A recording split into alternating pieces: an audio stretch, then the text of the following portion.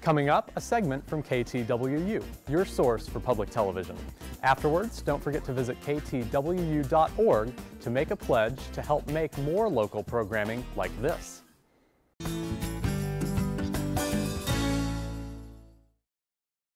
As our economy continues to sputter, places like the Topeka Rescue Mission attract more hungry and homeless people seeking assistance.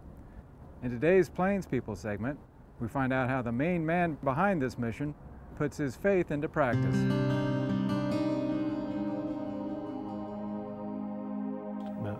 I, I boil it down to this. It's real simple. The Bible says there are really only two requirements of us in this life. Just two. We make it a lot more complicated than that. But two requirements. One is love God. Two is love your neighbor. you know?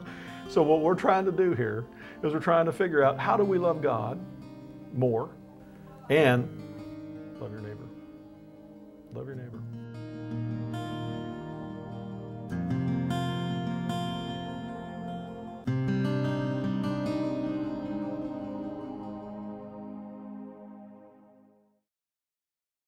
I got kind of discouraged. Didn't know what to do. And so I, I, I, had a simple prayer one day, and I was very sincere about it. God, I've read about you, I've heard about you, I've seen other people talk about you. Will you put me somewhere where I see you in action today?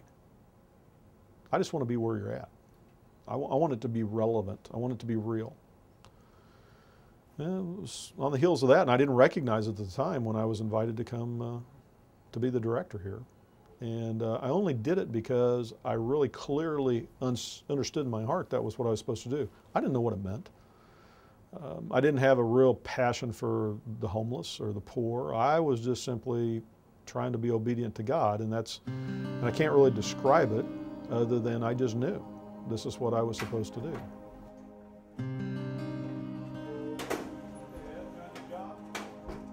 You know, that's uh, one of the most difficult questions I'm asked. Who are the homeless? And, and the best way I can say it, it's kind of cliche-ish, is they are us. Yes, probably the majority of the folks that are going to come to us have um, gotten hooked up in some type of a, uh, a problem with drugs or alcohol, um, probably 60, 65%. I have um, friends that I know uh, in the business community who have uh, ended up here, lost everything. Last thing in the world they ever thought would happen to them.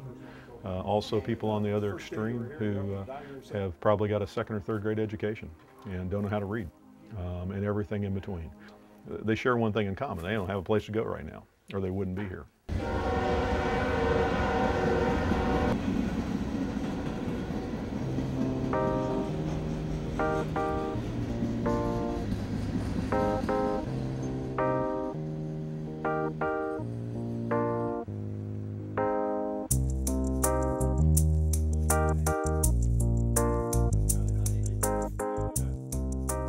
Distribution center is, uh, lack of a better term, a very large warehouse. We established the DC here uh, back in 2003. We had been putting our um, different uh, supplies for the mission in all kinds of different places, but we wanted to have one place that we could bring everything that was efficient, large, but also would enable us to um, do something more than just take care of folks who were staying at the mission. We have a lot of services here now for people uh, that need food, clothes, appliances, household items, pots, pans, dishes, forks, knives, uh, table to eat at, a chair to sit on, a bed to sleep in. We actually have people in our community who do not have a bed. They're sleeping on the floor. And we give out hundreds of beds every year. Um, used mattresses people donate to us. Everything that you will see in these facilities here is all donated. It's totally a community grassroots support uh, system. Average, we're probably about 240 a night average. We've gone up to uh, about 290. That's the overnight part. Uh, we also have an open meal program to anybody in the community who's hungry that can come in for breakfast, lunch, or supper. So we'll have, uh, on some occasions, where we'll serve 600 meals in one, uh, one dinner.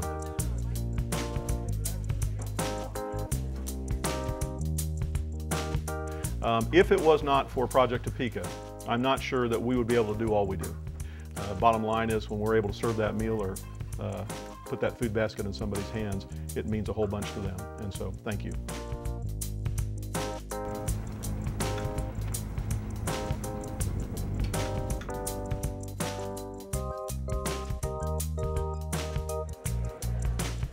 Well, community safety is about everything. Our guests at the mission can be vulnerable uh, to crime. Having a safer community is beneficial for everybody, whether you're in a shelter, in your home, or you're on the street. Um, I happen to uh, be very uh, passionate about community safety, and so back in 07, I became the president of the coalition um, and uh, remain that today.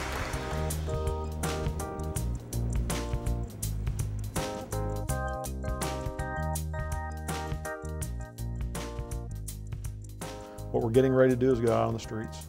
There's two reasons for that. One is we need to understand the demographics of what's out there right now. We're going to be looking at a map before we go out of what we know as the existing homeless camps in the community. So we just need to know. This is a bit of a barometer. What's out there?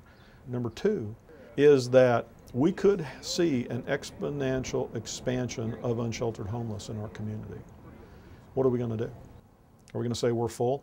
We're already under a temporary variance with the city to put cots on the floor in both of our buildings. If we can't get them in here and there's nothing else out there, we need to be proactive and prepared to go out there and help people who are outdoors. How long you been down here? We've been down here for about a month. Um, they are individuals who have run into some economic challenges, um, uh, job loss. Uh, they want to stay together as a family. They are Topekans. They want to stay in Topeka. Uh, but right now they are more comfortable there than they are in here.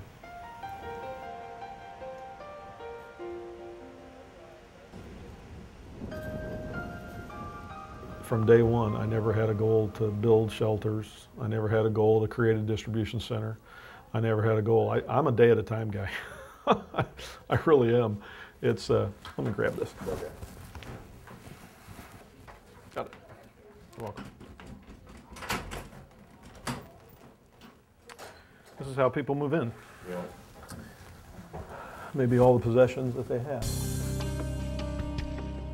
Um, I like to engage in things that seem impossible and see if they can be made possible. I tell you what, I mean, you look at all this, if you really get down to the nitty gritty, is this possible? In Topeka, Kansas, to have donations at this degree to build all of these facilities with just donors? Is that possible? No, but yes, it happened. But really, when you think about it, it's not that possible to do. But in 1 Corinthians 13 8, it says, Love never fails. If I love those people down at the river, or if I love somebody who is not so lovable, I'm banking on the promise it won't fail. Immediate results? Maybe not. In my lifetime? Maybe not. But the point is, you can't go wrong by loving others. Is that easy? Absolutely not. We have to study what it means to love, and that's what we do here. We study what it means to love others, and we attempt to do it, and we attempt to share what we know with other people.